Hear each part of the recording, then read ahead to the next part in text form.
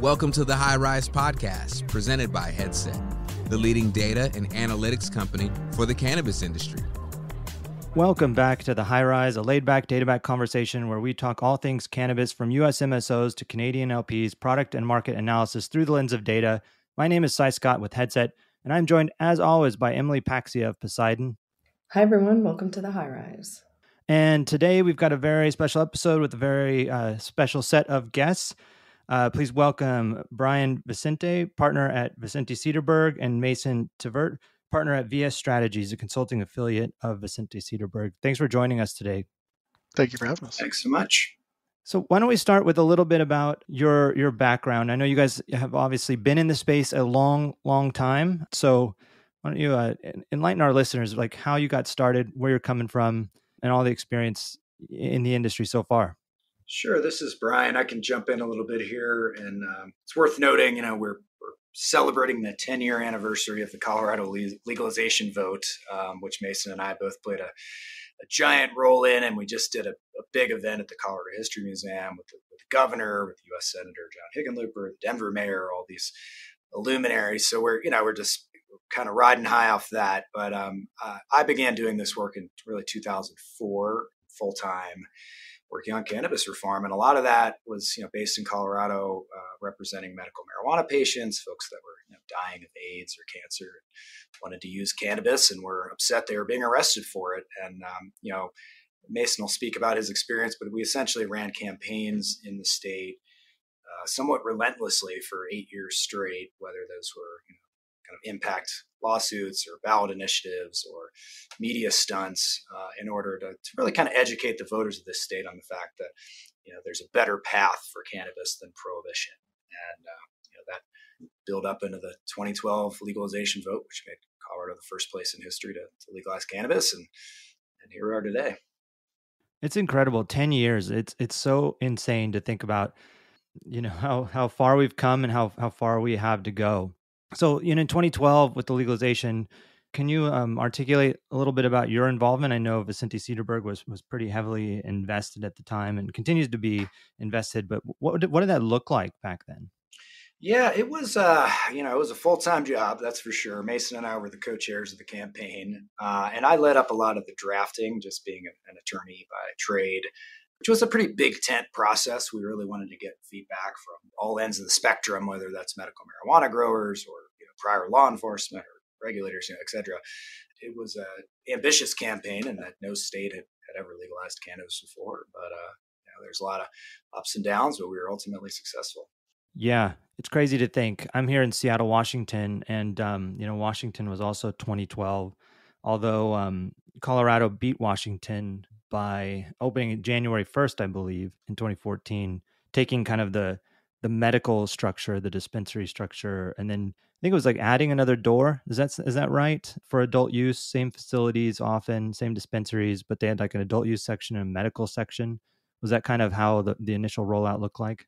Essentially, yes. I mean, we had had a pretty robust medical marijuana you know infrastructure for years and it had been working regulated appropriately. And so we we kind of said all right let's let's uh, you know mimic that process allow these uh, medical stores to opt in to sell dual use if they so if they so choose but certainly have some you know some separation so there, there's not confusion about the products or the tax structure but yes, you know, we were the same night as Washington. We, we did we beat you guys by a time zone. But one thing that we did when we wrote the law was we want we, we wrote some specific dates. You know, this, we forced the state to, to allow uh, businesses to open by by certain dates and time, and that's actually in our state constitution.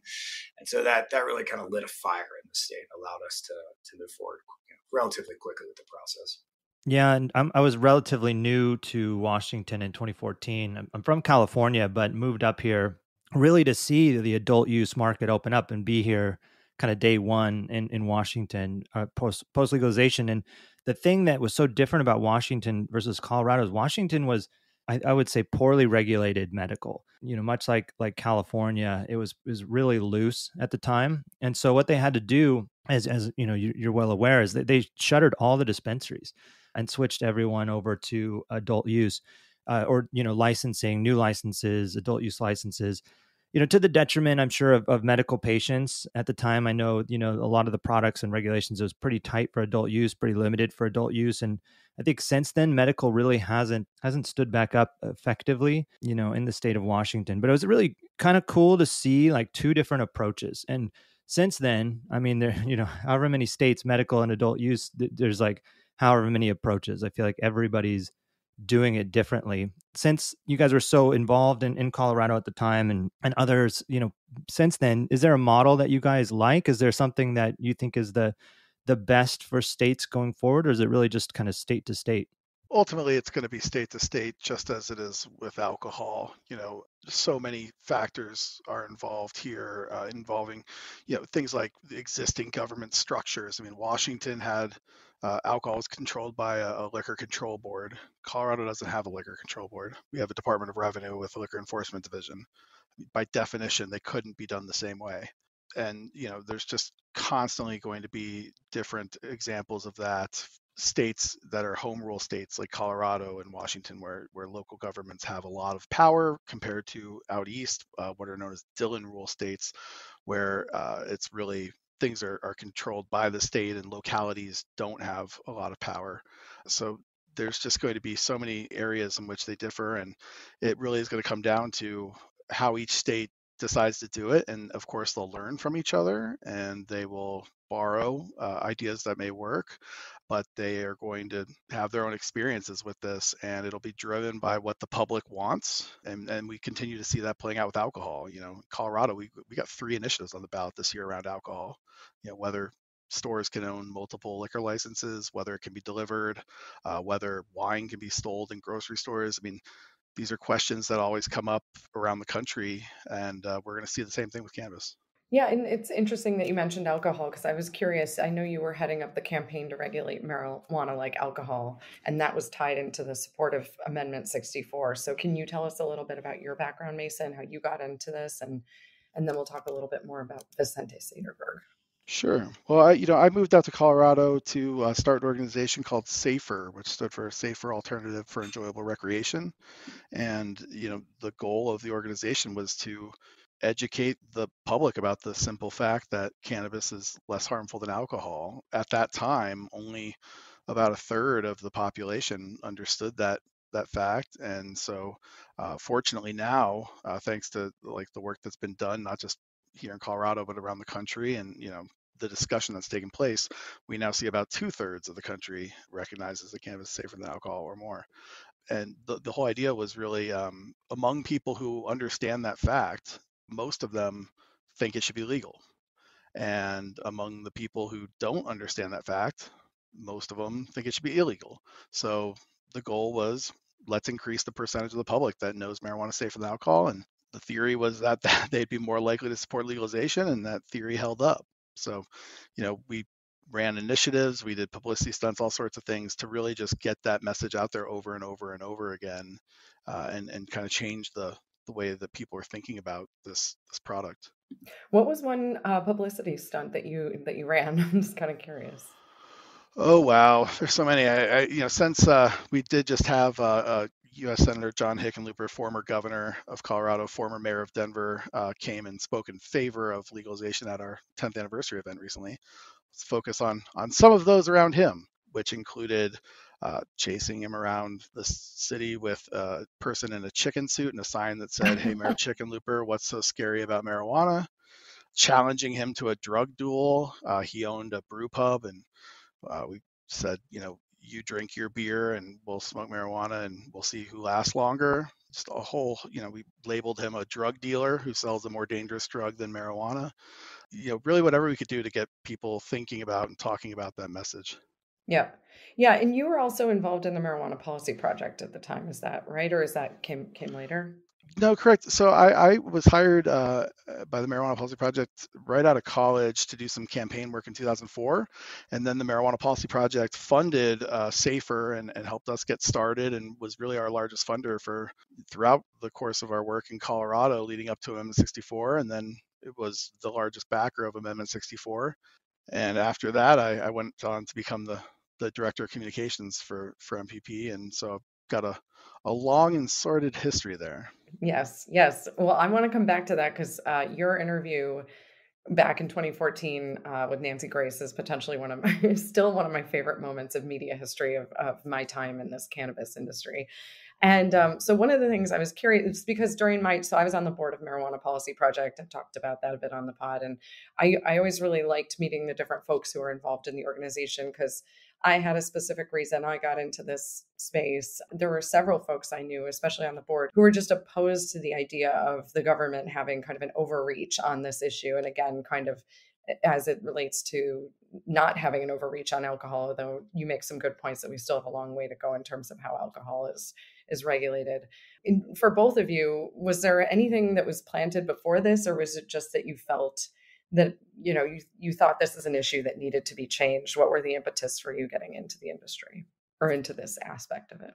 Yeah i could i could speak a bit to that. I mean i think you know some of it was just this intellectual dishonesty right? You're looking at, at government policies related to cannabis and how they didn't actually accomplish anything really except spending a lot of money and ruining a lot of lives. But you know i, I was certainly uh, you know interested and moved by just the you know the the racist nature of cannabis prohibition and how that's continued to carry on where black and brown people arrested four times the rate of whites for using cannabis but they they don't use at higher rates. So just these continuing inequities and the idea that we could somehow uh, you know impact that via our, our advocacy work was very was certainly very compelling to me. For me it was just more of a personal vendetta. Um, you know, I enjoyed cannabis in college. I was uh, investigated and, and harassed by law enforcement. I was subpoenaed by a multi-jurisdictional grand jury and drug task force and basically just shaken down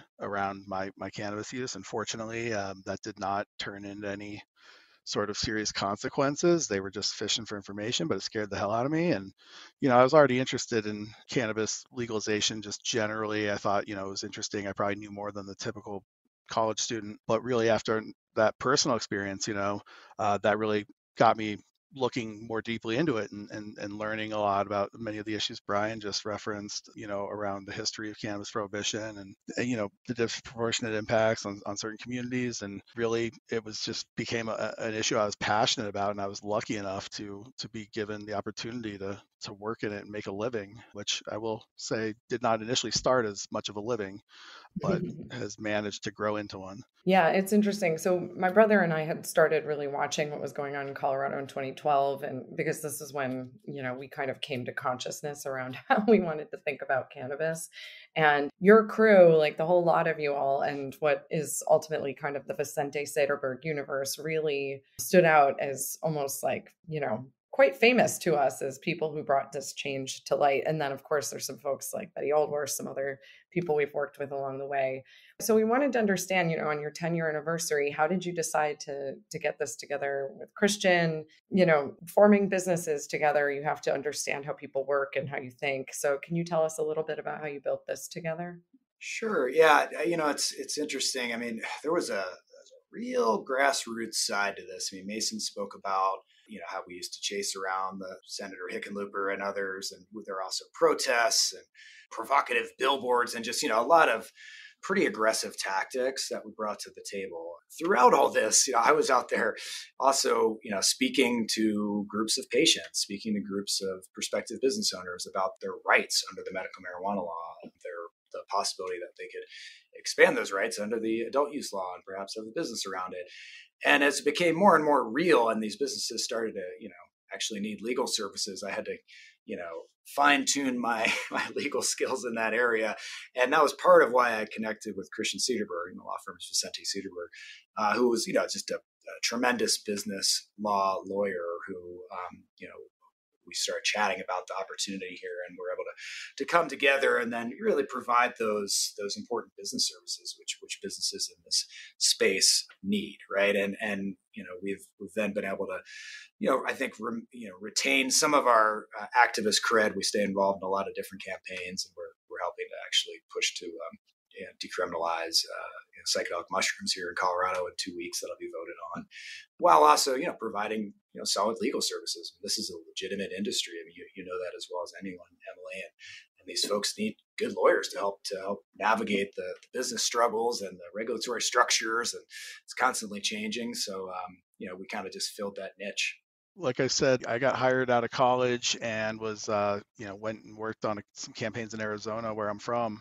and uh, that's where I met Brian in 2004. Brian was uh, had just finished law school and was out there also doing some work for the Marijuana Policy Project, and we met. And then uh, when I moved to Colorado, uh, you know, a few months after that to to start Safer, he was here doing Sensible Colorado and and a lot of stuff around medical cannabis and we've worked together, you know, ever since. You know, after the Amendment 64 passed, Vicente Sederberg had been established, and, and those guys really just took off with regards to, you know, opening offices in other states, and uh, of course, really working on Colorado and, and building out everything that was going on here. While I decided to to kind of focus my my attention on on other states, but from more of a, a advocacy perspective and worked on the initiatives uh, in you know Maine and Massachusetts and Nevada, Alaska. Uh, was at the Marijuana Policy Project and various state legislative efforts, you know that kind of continued for a while until I decided I was going to make the jump into the for-profit sector for the for the first time, and I was very fortunate in that you know Vicente Sederberg and the partners there, along with Steve Fox, uh, my mentor, who had uh, helped found Safer and really oversaw the Amendment 64 effort, uh, they had started VS Strategies to to do you know public affairs and, and policy work in the cannabis space, and was able to join that outfit. And uh, you know, since then, we've really just been been working side by side on a lot of these things. And um, I had a question about the, the 10th anniversary event. You, you guys have been talking about Hickenlooper a, a bit here, and uh, he was the governor at the time. And I remember that he wasn't particularly pro cannabis, but it looks like uh, he attended the the celebration, talked about his his change of mind. What does he talk about? Like, what really did it for him, or what was his concern in in the beginning? Like, why was he not a proponent for it, and then what brought him around? Um, well, you know, like a lot of public officials, he had concerns around public safety and, and public health. I mean, you know, to be honest, I don't know how seriously concerned he was versus how politically concerned he was. I'm not sure. I can't really say. But, you know, cannabis had been legal illegal for decades. You know, for older people, their whole lives, for decades and decades, they've been hearing nothing but negative things about cannabis, about how dangerous it is, about how horrible it is, about how bad the people who use it or sell it are. You know, and that's hard to overcome for a lot of people especially people who don't use cannabis that you know helps them develop more critical thinking skills but you know that's that's difficult for some people to overcome and especially when you're in a you know as a public official who is not only you know in a political situation of you know not wanting to to screw up but also of course you know not wanting to do anything that could hurt public health and safety they're extremely cautious and so i think that you know that was his take was that you know he believed that it, it, was just too unfamiliar territory and didn't know enough and you know was worried that that he you know he didn't want to be at the helm if if the ship went down you know? And i think that what he realized after amendment 64 passed and was implemented successfully is that the ship did not go down the sky did not fall you know it actually worked out quite well and you know we've seen a number of benefits ranging from you know the public health and safety benefits of regulation to the tax revenue and you know to his credit he acknowledged this and you know if it's obviously it's it's always weird to buddy up with former opponents but you know that's what we wanted. We wanted the guy to change his mind and he did so we can't really complain about that and and we were very honored to have him join us and and to stand up and say that. Yeah i think it's great. I think it's rare you know to see a politician uh, do that and uh kind of change their their position. So I, I think it's fantastic that uh, he's he's now you know more of an advocate than he was uh, previously. And also, you know, I want to ask you guys a bit about the federal side. I mean, there's some pretty big news, you know, a couple weeks ago with Biden talking about cannabis for the first time, uh, you know, since his campaign. Uh, and changes he wants to make, and, and thinking about Hickenlooper now, you know, at the federal side as a senator, you know, I think coming in as a senator, I think it's just another voice in the room that hopefully will help push this forward. What do you guys think about federal change? You know, certainly state by state is pushing us there. Do you think uh, you know we're going to see something pretty significant here in the in the 180 days of of review that that Biden put forth? I think I mean it, Biden's statement and actions on on cannabis recently were I mean simply remarkable. I mean, it's the biggest move by an American president on cannabis since Jimmy Carter so and I and I you know we're fairly active on the Hill, and I, I think it's safe to say this has breathed a lot of you know life into cannabis reform. And I think a lot of Democrats are looking at themselves and saying, you know, wow, if the, the most important and fairly moderate Democrat in the in the world is on board with this, maybe I can be a little more of a champion. And I think there's there's potential for for for something something positive this year, whether that's safe banking or this Climb Act or you know, one of these sort of bills to take off. It seems likely. And I think playing into that is, you know, the fact that we probably will have five states vote to legalize here in just a matter of weeks. And then you have, you know, uh, members of Congress, you know, of course, they won't be in Congress until 2023, but you have that sort of movement going on where you have folks coming from the, those regions, which are, I think, entirely Republican states, with the exception of Maryland, that'll be voting on cannabis reform, coming to DC and, and you know, asking themselves, are they going to support the will of their voters? Are they going to vote to criminalize those individuals? What are they going to do? So I think there's a sea change going on. I feel I feel pretty optimistic. Did you did you see this coming, or the timing of this? How did you feel about it when it when it came out a couple of Thursdays ago? Uh, it came out on my birthday, so I like oh. think it was October 6th. It was a present from Biden. But, um, you know, we were actually pretty involved in helping to, to raise money and try to, you know, really, we did an event for Biden that was fairly elaborate with some members of the Grateful Dead. And really were hopeful that we would see some major movement on cannabis and we didn't see anything for years you know and so this came a little out of the blue honestly and and uh, but i think it, it speaks to the fact that the polling on this has shifted and maybe he's clearly he's a busy guy there's a lot of priorities but this just seems to be low-hanging fruit his way to kind of give back to the movement i guess and, and hopefully push us uh, further down the line yeah, I have to be honest. Uh, you know, I was pretty enthusiastic upon the news, and um, it it helps to hear someone with your level of experience and the amount of time and effort you've put into this to also be feeling that way about it. So it's good to hear. I so to that extent, you you know, you two have been focusing on this industry for now, you know, a long time. Concerted effort with Vicente Sederbergs for ten years what are some highlights or lowlights from this time and and how how have you felt about it? Have you seen things moving? And and this can be state to state not just at federal level but have things moved faster or slower than you thought? I'm just curious to hear your perspective over these years. It's one of those things people used to ask uh, you know way back when they'd say did you expect to be able to legalize cannabis in colorado? Like did it seem realistic? And you know, I always felt like, you know, it, it just was so such a gradual and and you know steady incline you know like we just uh, things just kept building and building and, and moving in the right direction and, and more and more progress that at the you know by the time amendment 64 passed it just didn't even seem that wild. Uh, it seemed somewhat expected. Um, and i think that that's kind of how i view things going with with cannabis policy overall uh, is that you know especially within the last decade. I mean, we've seen so much activity, so much development, so much progress uh, at the state level. While we haven't seen policy change uh, all that much at the federal level, we've seen some. I mean, I, you know, when Brian and I first started doing this, when I mentioned we were working on a campaign in 2004, we were working uh, on what was then known as the Hinchey Rohrabacher Amendment. Uh, which is, you know, the the rider, the appropriations rider that says the federal government can't spend money interfering in state medical marijuana laws. And it was losing. It was losing every year significantly. But, you know, that now has passed multiple times and with very strong support. Uh, we've also seen additional, you know, riders that have been passed. So there has been some change, and obviously there's far more members of Congress, far more people willing to sponsor legislation. You know, looking even beyond the states and, and our federal government, we've seen countries moving forward. Uruguay, Canada, Germany is now talking. So, you know, it's really moving pretty quickly. And while it's frustrating in the moment sometimes, especially around federal law, you know, this is uh, moving pretty fast. And I think, you know, like when the Ken Burns documentary eventually comes out, I mean, you know, we're we're only on like episode two of like, you know, five, six hour episodes, right? You know. Uh, so I think there's plenty more to be done, but um, it's it's going quick. Yeah, I, I actually rewatch the Ken Burns Prohibition documentary kind of regularly just to remind myself of the way these things work. But uh, it's an interesting rhyme to what we've been experiencing.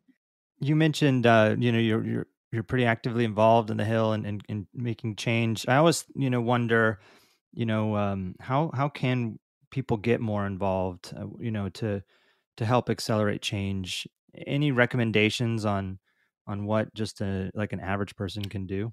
You know, I, our campaign, right? If you look back the last 15, 18 years, Mason and I working on this, it's actually really been ground up. You know, like we've got active at the, at the local level, changing local laws in Denver or Breckenridge or wherever. And then, um, then did things at the state level, and now legal in 19 states, and and that is sort of creating pressure on Congress. Uh, so that's not to say people shouldn't just sort of you know jump all jump the line and, and call their members of Congress. They they should, but I think to the extent people get involved in sort of local efforts and state efforts, and there's really I, I think a, a thirst for input at these many states that are trying to figure out how to appropriately regulate cannabis. And, and one of the major changes we've seen in the last 10 years is there's a very robust discussion about social equity with cannabis licenses. Like Hispanics, I'm part of the National Hispanic Cannabis Council. You know, Hispanics are 20% of our population, but only 6% of marijuana business owners. Like, that's pretty fucked up if you think about the fact that marijuana became illegal to criminalize Mexican immigrants in our country. So it's like, how do we address these inequities? And, but fortunately, we have state regulatory authorities and state meetings and local meetings that are uh, by regulators that are, are looking for input from, from various communities about how to appropriately uh, shape these laws. So I, I think there's, there's opportunity to kind of participate in that way or, you know, certainly there, you know, if you're in any of the five states voting on legalization this November, uh, organizing around that, as I mentioned earlier, Colorado will be voting to essentially legalize mushrooms for medical purposes. So there's there's ways to get involved in, in lots of different places. I think Brian is exactly right on the ground up uh, approach. I mean, you know, Joe Biden didn't wake up one morning and just decide, you know what, it feels like the day I should pardon a bunch of people for marijuana.